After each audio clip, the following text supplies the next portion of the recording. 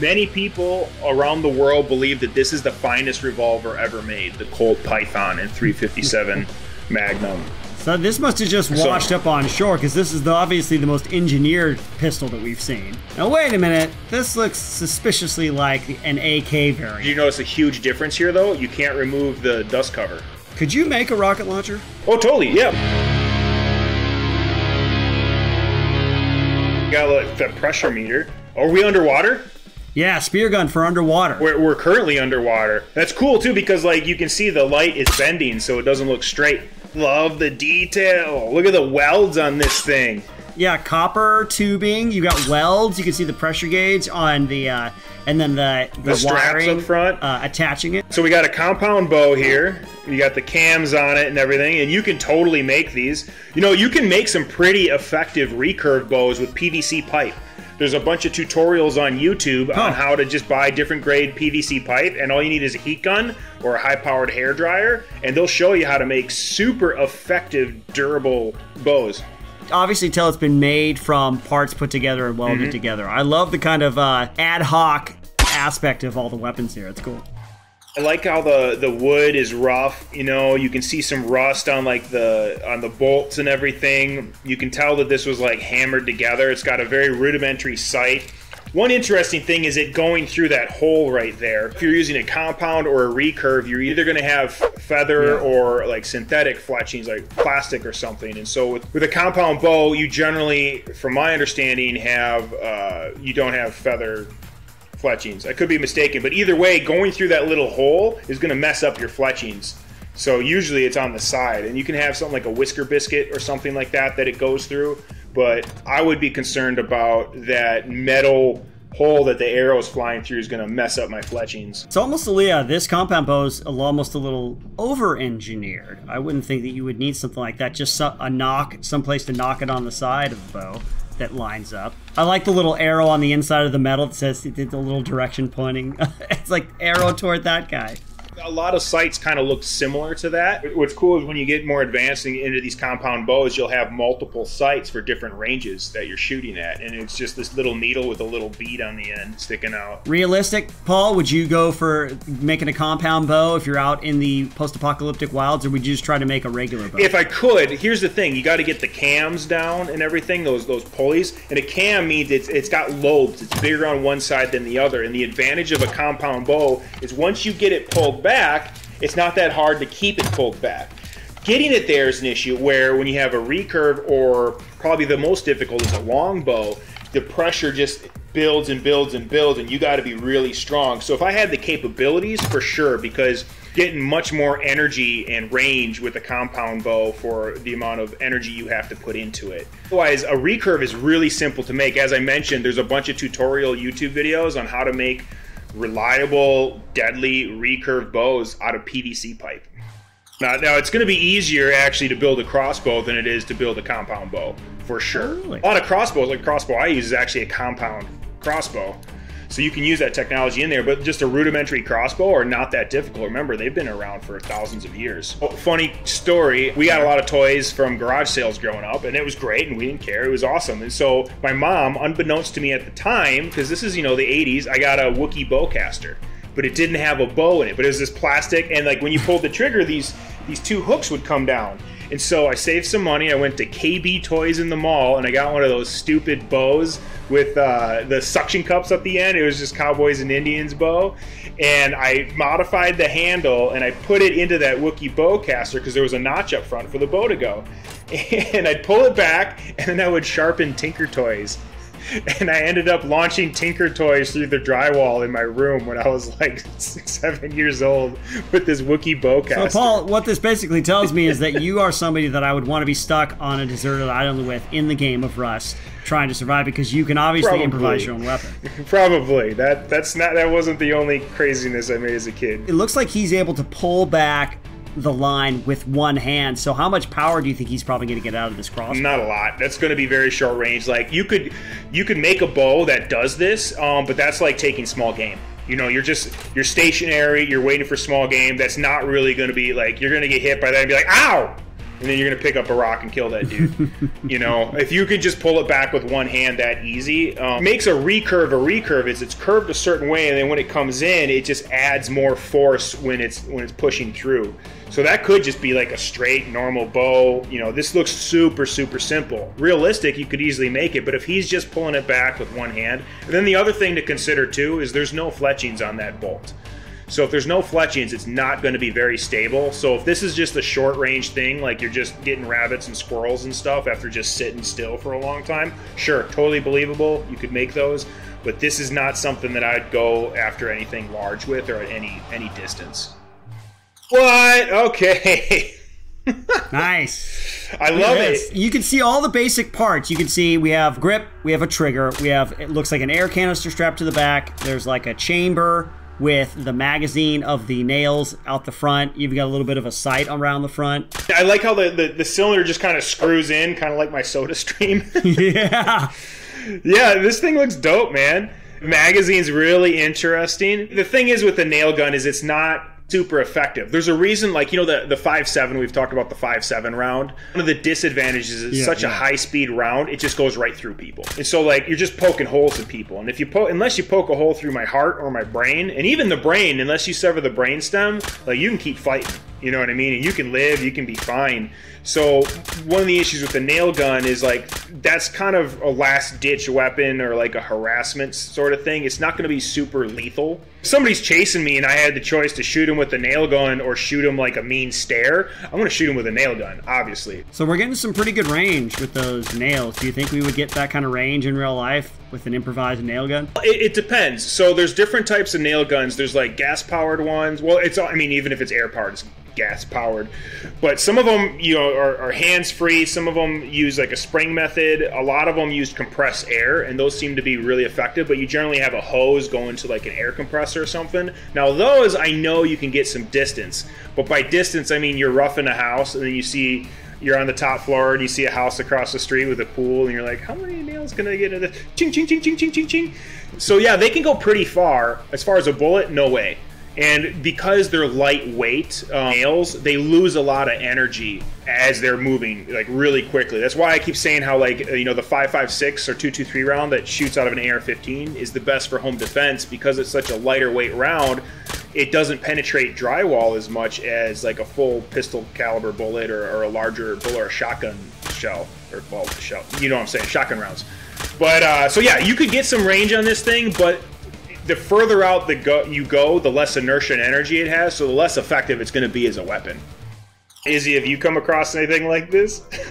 No, man. It's it's. I'm always ever since we started doing lethal antiquities over on Shift Fire. You see the older weapons all the way up to the newer weapons. So there's like basic parts to a firearm, right? You know, you have to have something to carry. You know, like a, some sort of barrel. However, you're gonna hold it. Some way to ignite.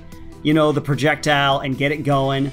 Uh, so this one looks like you just have a shotgun shell inside a wooden tube that's attached to a wooden handle. There's not even a trigger. You just hit it at the top, which I'm not even sure how that would work. You'd have to get something to hit the striker inside, and it's all made out of wood, so I'm guessing it's not going to be very reliable after a couple shots, you know? So yeah, this is like hardcore like matchlock. Okay, so when they call a matchlock a matchlock or a flintlock pistol, the lock is the mechanism that like you put a piece of flint, you nape the flint, and when the flint strikes, it creates spark, and the spark goes into this little flash pan, and then like the fire goes down this little tube, and then it ignites the powder charge that you have in the projectile in. So this is just that without the lock. You're just taking a piece of flint, and you're like, ah, ah.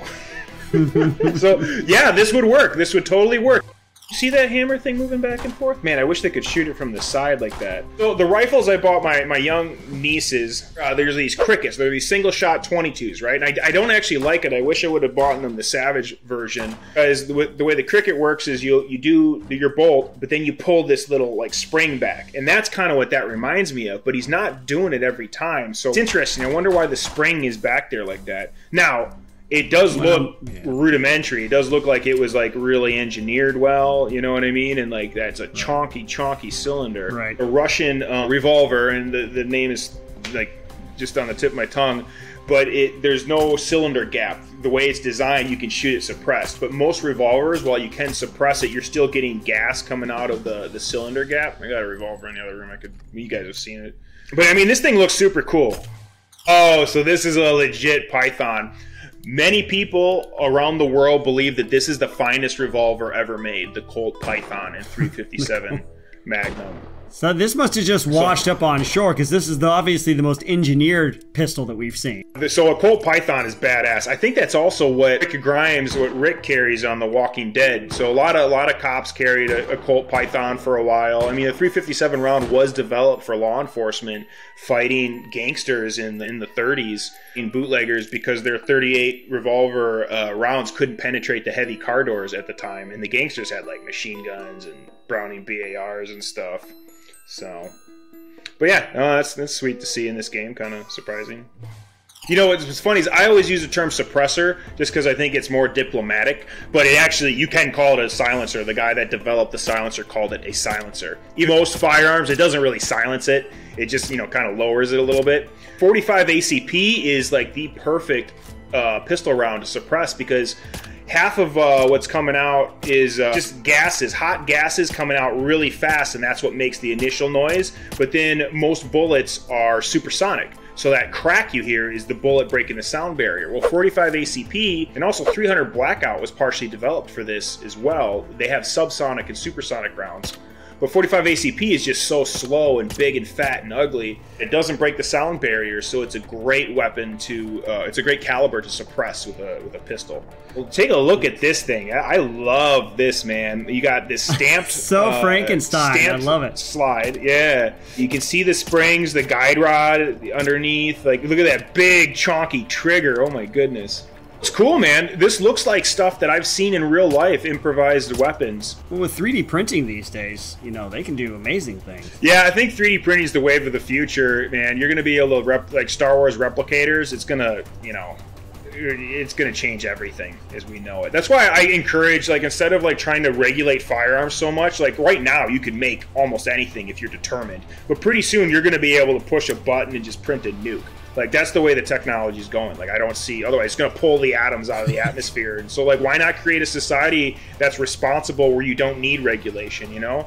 What do you think about how the mechanism's working? Are they got all the basic parts for it? Yeah, I mean, to me, it seemed pretty realistic. It seemed to work pretty well. Um, I was believing it. I wouldn't mind having one to take it apart to see how this goes. But like, I really, really like about it, other than the stamped parts and how it looks like somebody like you know hammered that out in their garage, open guide rod spring down below. I thought that was just like cool because usually that's encased in your receiver, but just like just showing it to the world. Luty, he was this British libertarian dude that was like just started making machine guns, and he made a book on how to make a submachine gun out of parts of the hardware store, and he did it. And the British government's like, don't do that. He's like, yeah, I'm going to do it, and he did it then he went to jail for it.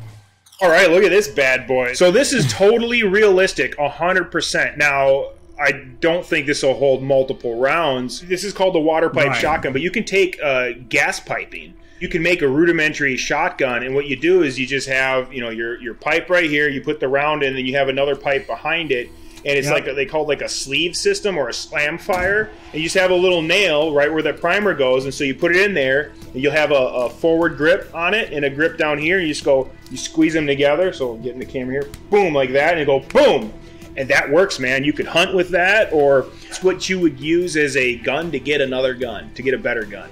You know That's I mean? right. Yeah, you only need one good shot. So, oh, look at this. Dude, I have those screwdrivers in my tool pouch. The classic yellow, are they like Stanley or something? The classic yellow and black screwdriver. Yeah, there you go. Double barrel shot. You get the screw, the screwdriver charging handle. So you're priming the that's that's the charging handle the prime the uh, the firing pin. Okay. It looks like they fire one at a time, which is good because now it's giving you, you know what I mean? Two shots uh, Yeah, shots is always better than one. Look at those old school look at those, those sights, how far apart the rear sight aperture is. Oh my goodness. That big chonky wood grip up front. Yeah. This thing's hilarious, man. That looks fun, yeah. This looks like kind of back to the pistol. It's almost like uh, hammered out in your garage style. Yeah, yeah, like on a forge. Like you got your own. Like, look at that. This is cool. This is my favorite thing I've seen so far. It's a short barrel too, so this is only going to hold like three, maybe four rounds. Look at that. You know, it, it kind of reminds me of a lever action a little bit the way uh, the way that uh, the bolt assembly comes back quite a bit. It reminds me of like a lever action shotgun or a lever action uh, rifle. That's interesting. I wonder how this works. I want this. This thing's cool. That looks cool. No, very well designed. A nice, nice world that we're living patina. Got a big old suppressor on it. You totally can suppress a shotgun, you know. And depending upon how big your suppressor is, will determine how much, um, you know, noise reduction you have. Type. This is kind of like the first Iron Man suit that Robert Downey Jr. pounded out in that cave out in There you go. The Mark One. the only thing I'll say about this pump shotgun, uh, it looks heavy. It looks like just, it looks pretty heavy, like all metal, you know what I mean, and like forged together. So I imagine, you know, it's it's going to have some substantial weight to it, which would, you know, help with recoil. The heavier a weapon is, the, the more it absorbs recoil. So. So, Izzy, this is one of my favorite shotguns and one I want to add to my collection, partially just Oh, because really? of movie magic, partially because of the engineering, and, and partially because of aesthetics. Now, when I say engineering, this is a semi automatic and pump shotgun. And the reason they wanted both is it was specifically designed for law enforcement, for French law enforcement and military, and, you know, outside contracts and whatnot. Less than lethal rounds do not have the same amount of recoil as uh, normal buckshot or slugs. And so they're they're not as effective to run through uh, as most automatic shotguns. There's a gas system in it, and it has to be tuned to the round. Modern semi-automatic shotguns, they're getting much better at that, where you can run multiple different rounds without having any hiccups. But when this was designed, that was a serious issue. You know, it, there's a difference if you're bird hunting and you don't get like the right thing to go or whatever. But if you're in a law enforcement life or death situation, your your system has to work every time. And so there's a selector lever that'll switch it from to semi-auto. Ah. so- that's why we're not seeing him charge it every time. It's very unfortunate that um, you know we have some really really silly gun laws here. I mean, compared to most countries, so you know, more much much better. I think other countries need to really do a Second Amendment thing, since the Second Amendment is a human right. It's not a uh, legal right granted to you. You know, but uh, there's some weird laws with importing those, and um, once the laws were lifted, they had already moved on to a newer version of that shotgun, so they just stopped making them. So in the United States, they're they're pretty expensive to get a hold of. I have, you know, there's other things on my list like night vision that I think are more important than buying a SPAS 12. But if I found one at a good price, it's going on my wall. It's going in my Yeah. office. Very so. recognizable in pop culture too. I like the SPAS 12 because you've seen it in a lot of different movies. So yeah, pretty cool. Hey, look at this. This, this is like a little grease gun. It's very yeah, we're very back to the kind of uh, real dressed down, uh, welded together version. like like a prototype, you know? Yeah, yeah. And you can build these. There are, there are books out there on how to do it. Check your local laws, folks. I don't want to get anybody into trouble. You know, obviously, you want to um, at least consider, you know, your local uh, local authorities. But yeah, you could totally build something like this, and you can build something like this with uh, basic tools. And it looks like he's got a welder here, but you can even, Yeah. like I said, that uh, that P. Luty fellow. I'm, I'm probably butchering his name, but you know, he wrote a book on how to, you know, with basic hand tools on how to build a, a submachine gun. This looks like uh, something where you have a little bit more advanced tools because there's clearly welds on there of the Yeah. knurling on it. But I mean, this reminds me of a, of a grease gun for sure, or a Tech Nine too. Grease gun and a Tech Nine had like a rusty baby. Rusty Baby's the name of my Rusty punk rock Baby. band. We are Rusty Baby. Good night. Uh, That's cool. I like the sights on it. I like the the muzzle brake or the flash hider up front. Arging handle with that big old nut on the side. I mean, it's just cool. I like this thing. What do you think, man?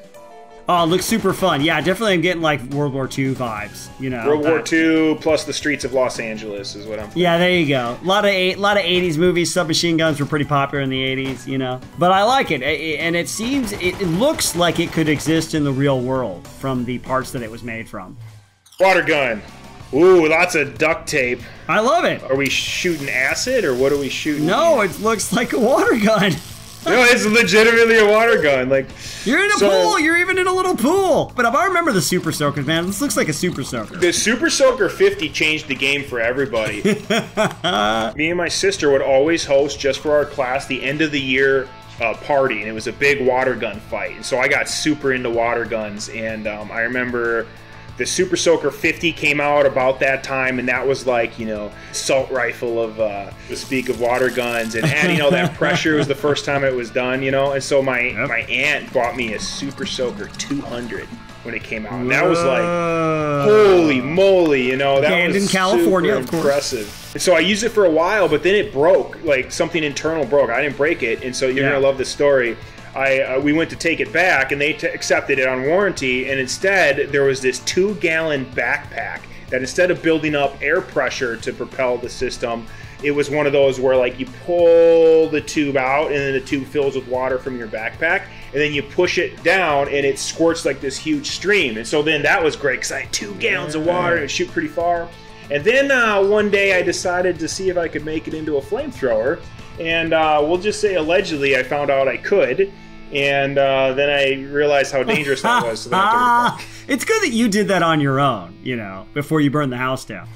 Oh, I man, I just love this stuff. Look at that! Like, looks like they found some like old barn wood. You know, it's just Yeah. like scraped it together with a rock. You got your 550 cord on there. That's not even five. That's like cord cord. That's like twine, yeah. Yeah. It almost looks like athletic tape on that front grip. Yeah, that magazine looks cool. Just the patina on there. I believe everything on this. I love this genre. You got the, the the straps that you use in automotive. You got some that foregrip up there. And here's something that's super impressive: the detail in the patina, the welds, and then somebody knows what they're doing here. Like the sights are just very impressive. Yeah, every every part looks like it's just found parts, you know. But it's believable though. You know, they they use their own ingenuity to like to like, make it work. Mm-hmm. This is dope.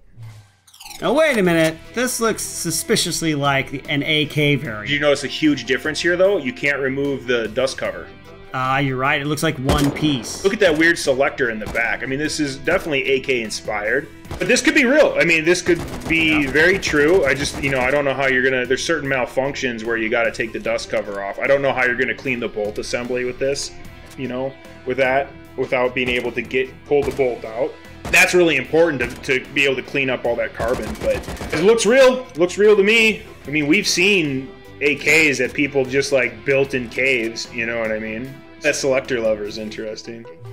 Wait a minute. Whoa! Wait a minute. Wait. What the heck? Is this like a, one of those stress tests, or what? The what do they call the test where they really put it through the? Um or uh, yeah. Mac from just like Military a- Arms Channel. Yeah. Yeah, this like they threw it in the water and then froze it. Uh, you know, they obviously in this post-apocalyptic world we have refrigeration units that we can freeze AKs with. Well, if you watch Mike Jones or Garand Thumb's uh, uh, his torture testing, K did not do well in mud. It redeemed itself in the ice test. It did, I believe, it did really, really well in the ice test. So I was hoping to see a gun that like would shoot ice or something. Like I, I feel like just hoodwinked us. Yeah, that's gonna be cold on your hands. What's what's going on here? I guess it's gonna keep it from overheating, but I get the might the, the ice is gonna melt eventually. I don't I don't know the point of this thing, man. It's it's pretty silly. I think that's it's funny. That's the first unbelievable thing I've seen because even the water gun was believable. Ha! and the in the game of Rust, that's the first unbelievable thing. Yeah, The whole game. That's the first one. I was like, nah, I don't know, man. simple pieces hammered together wood. You got your your front wraps. Oh, look at that! Like, look at they spent a lot of time distressing that wood. It's all Yeah. cracked and everything, and like interesting uh, little pipe or tube they got in the front there. Yeah. I don't understand. Like, all right, well. The, all the, the sights on there are, are pretty similar, so I mean, I wish that they maybe would have done a little bit different, but hey, I mean, it works, you know. And I don't have any complaints, you know, wrapping it with the athletic tape, Looks like you can load a couple rounds in there, like four or five. Yeah, uh, internal box magazine. And this thing's going to be heavy with all that welding and, and metal going on there. The whole receiver and like it looks like the buttstock might be metal too. Yeah, it looks like it looks like it's made out of heavy metal. Look at that. We get the lunchbox with the belt ammunition coming out. Oh, that, That's awesome. I mean it's a good top feed. Pretty far forward from the mechanism though. Do you see that where the bolt is? Right. Normally that you you pull the bolt uh, side and the bolt is in front of where the rounds go in. So that's kind of interesting. Yeah. Wonder what those four tubes are. If they're like gas tubes. They just or, look like uh, stabilization. It's almost steampunkish. Yeah, yeah, very stable. I like how rickety it is. How when you fire the the the top cover, it kind of moves around a little bit. that big spring assembly in there doesn't that remind you of like uh, 50 cal springs or the mark 19 when you're taking apart the mark 19 For those that don't know, Mark 19 is a fully automatic 40 millimeter chain or belt fed grenade launcher. I'm going to say that one more time. So I fired a couple of those uh, rounds in, in Iraq. Oh, really? I love it. Just simple and effective. Just a bunch of pipes and gauges and bottles. You can even see the trigger mechanism. You can see where it impacts kind of the trigger mechanism where you get the handle there. For military flamethrowers, they have a canister with gas that will go into the canister of liquid or on top or whatever and push out the liquid fuel. And that's what this looks like. And you can tell the difference between a, uh, like civilians, since they're not worried about getting shot and stuff, it's easier for them to have gas uh, powered and gas fueled flamethrowers. Like even a but- simple but- I got one over there. A simple butane torch is a uh, is a type of flamethrower. For the military purposes, you want to be able to shoot out much further and also have that like fuel stick to stuff and everything and like and they don't all all do that. First off, just stylistically it looks super cool. It looks Yeah, the piping and stuff. It looks like you could find all this stuff in your yeah, and, and the vibrant colors. I really like the vibrant colors. But the way the flame is coming out, it looks like a liquid fueled uh, flamethrower, and those are much more effective for fighting. Oh, this looks just looks so heavy. like stainless steel piping, like sewage piping. You know, it looks like uh, cast iron. It reminds me of a fire hydrant. Is what I was trying to say. Oh, I love it. You Oh, take geez. in the, those big chonky rounds, Mm-hmm. take the back cover off, shove that thing in there, put it back So on. So you don't have to worry about a backblast area, which is, you know, that's good to know.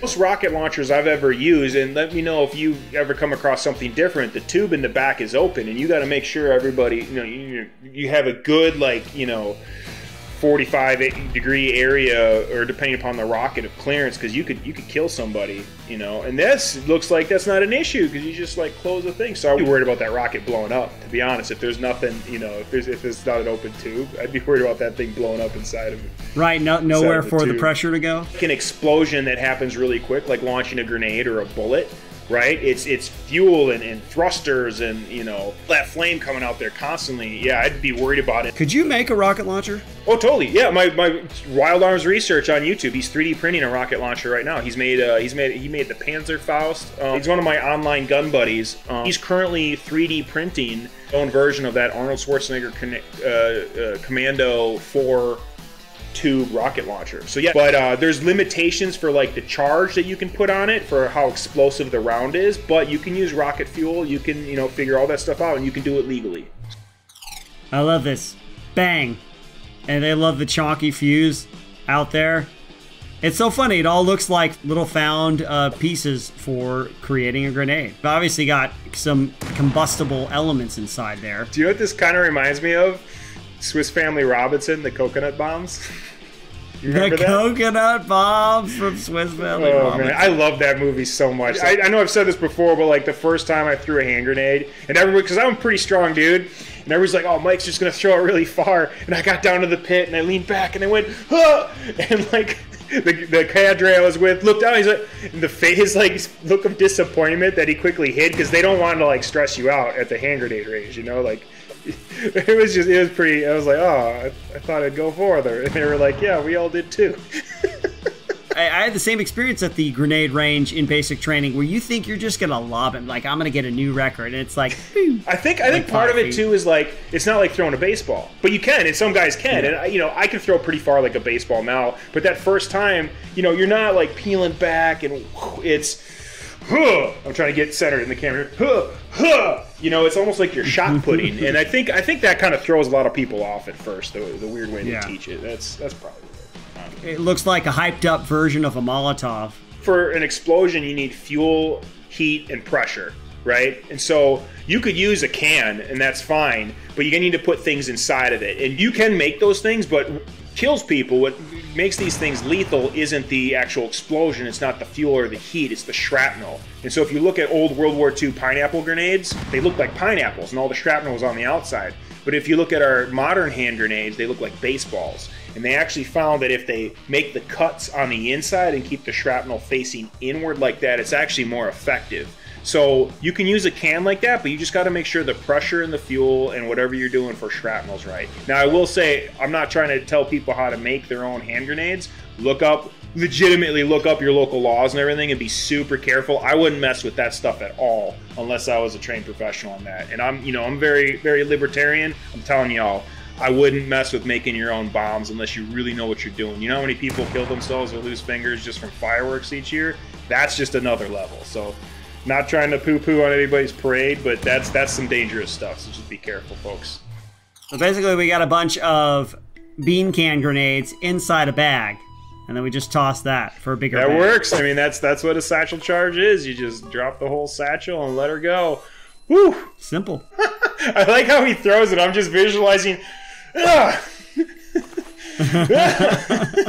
It's like a shot put. Yeah, like a double shot put. Uh, it looks like nice leather, man. It looks like man, somebody spent a lot of time crafting this in order to just like, you know, blow it up. If you want to follow my adventures, folks, check me out Mav11B and Thunderpunk Radio on Instagram. Folks, if you want to hang out with me a little bit more, head on over to the Pop Culture Field Manual podcast, wherever you listen to podcasts, or on Patreon. We'll see you on the next one, team.